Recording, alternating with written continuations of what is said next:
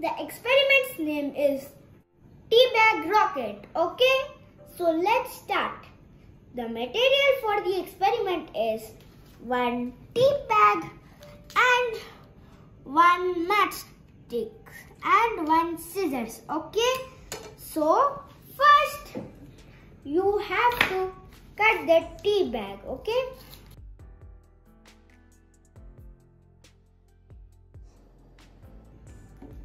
From here. See, I am cutting. See friends, I have cut this part. And now I'll take out the tea powder, okay? Now I'll make it in a cylinder shape, see, with my fingers. Have made it in the cylinder shape. Friends, now this is in a cylinder shape. Friends, now I have made more tea bag rockets. And now I will burn them and you see how will the feel be when they go in the air, okay? Friends, our rockets are ready to take off. So now I will fire all of the rockets, okay? See.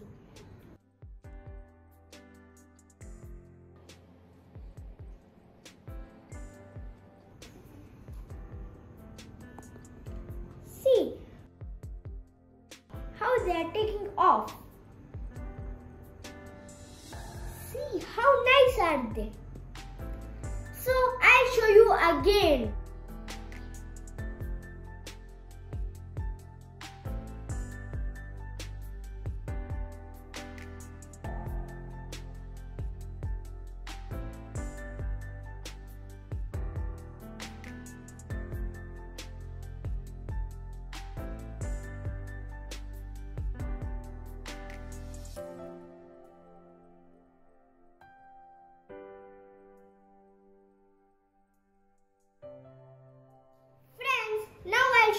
In slow motion, okay?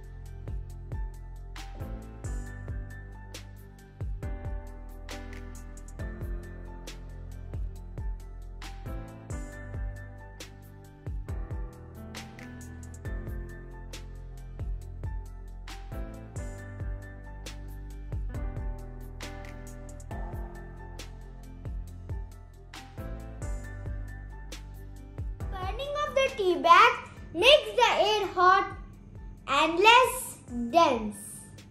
As a result, a convection current is created.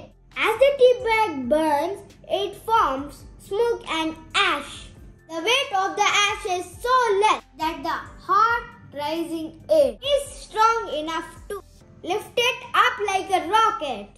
Friends, Please like, share and subscribe. If you give me so many subscribes and so many likes, I will get more motivation and I'll make so many more videos for you.